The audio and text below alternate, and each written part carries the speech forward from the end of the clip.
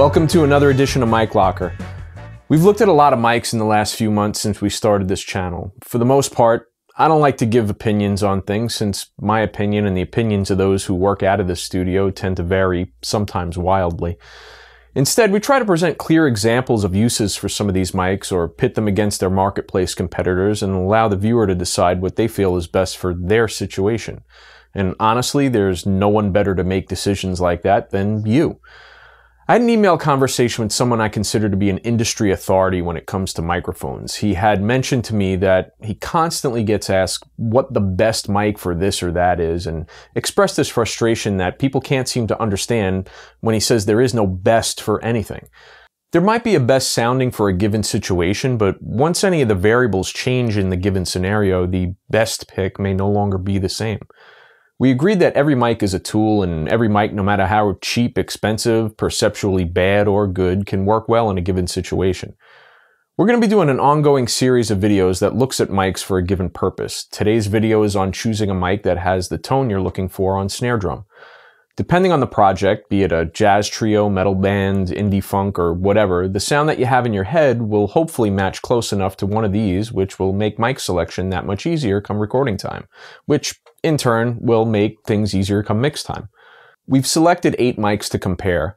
The Shure SM57, the SM57 Transformerless mod, the Shure SM7B, the Audix i5, the Sennheiser 441, the Sennheiser 421, which we've selected the currently available Mark II out of the three variants we have.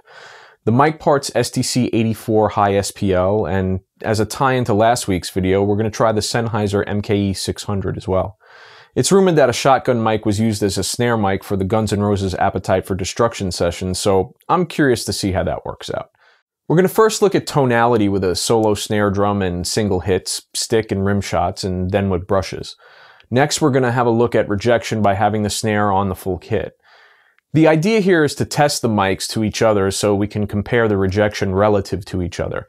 In a future video, we'll look at more ideal placement for the snare mics to maximize rejection of each mic for actual recording purposes. This is just to get a loose idea of what each mic might sound like when first placing mics on the kit.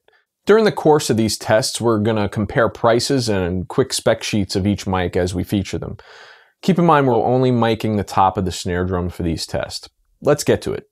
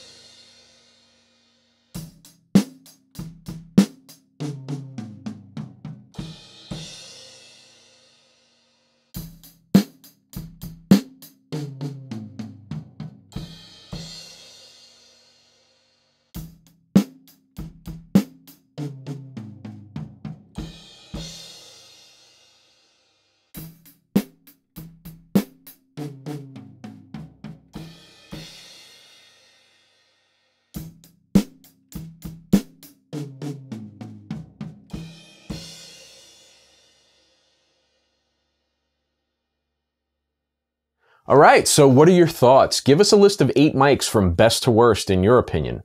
Was one better at one thing but not something else? Did you have a favorite? Were any of the sounds surprising to you? I know I was a little taken aback by the shotgun mic initially. Please leave me some feedback. Tell me your thoughts while you're at it. Please hit the like and subscribe button if you got anything from this video so we can continue to bring you more videos every week or so. And hit that notify button if you're interested in being notified when we put up a new video. That's it for this time. This is Pags, signing off.